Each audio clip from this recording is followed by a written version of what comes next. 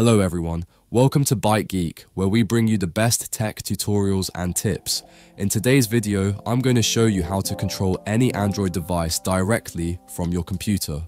Whether you prefer using a USB cable for a stable connection or Wi-Fi for wireless connection. To achieve this, we'll use an amazing free and open source tool called SCRCPY, short for screen copy. With SCRCPY, you can mirror your Android screen on your PC and control it seamlessly using your mouse and keyboard. First step is download SCRCPY. Head over your browser and type SCRCPY in search. Click GitHub link to head over to the official page to download the latest release. Don't worry, I'll include the link in the video description for easy access. Look for the release section and download the zippy file compatible with your operating system. There are different files for different operating system. We will download for Windows 64 for our operating system. Next, we need ADB drivers to enable communication between your PC and Android device. For this, download the SDK Platform Tools for Windows, search SDK Platform Tools release notes in Google. You'll find the link in the video description below.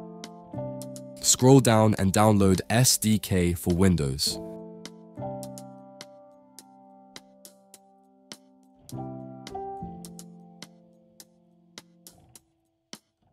Once both files are downloaded, extract the contents of the zip files.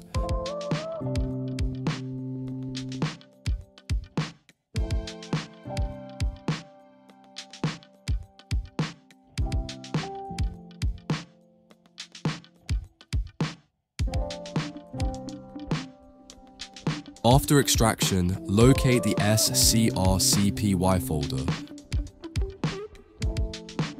Copy all the files from this folder and paste them into the Platform Tools folder.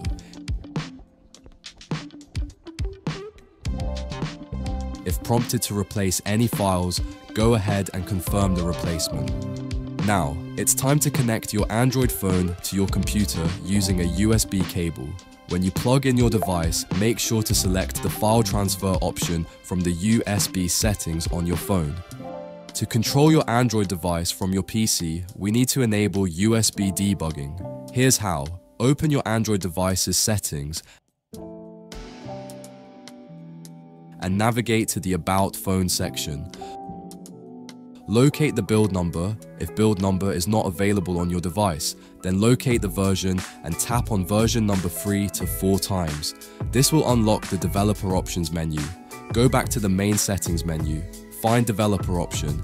If not available here, then go to additional setting, find developer options here and tap on it.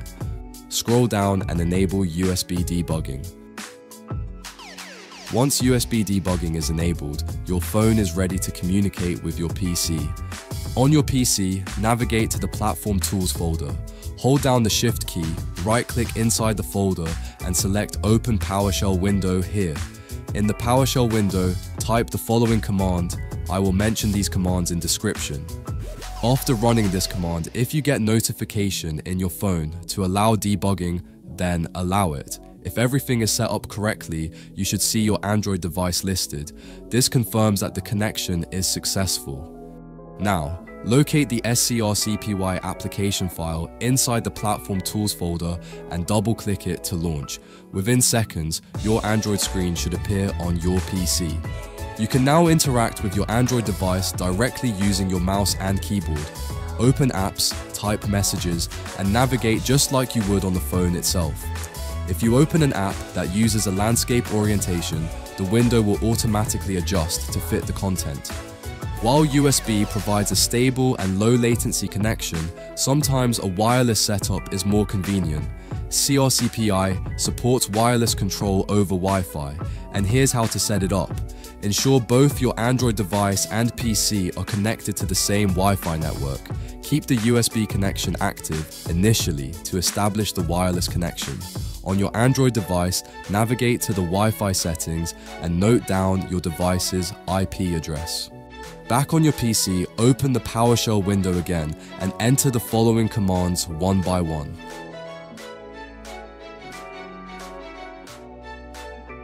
Replace with the IP address of your Android device. If it says failed to authenticate error, you must check your phone and allow the debugging if asked. If the connection is successful, you can now disconnect the USB cable. Finally, run the SCR-CPY application again and your Android screen will wirelessly appear on your computer. And this is how you can control your Android smartphone using your computer. With SCR-CPY, you can easily mirror and control your Android device, whether it's over USB or wireless Wi-Fi router. This setup is perfect for productivity tasks, demonstrations, gaming, or just a seamless Android experience on a larger screen.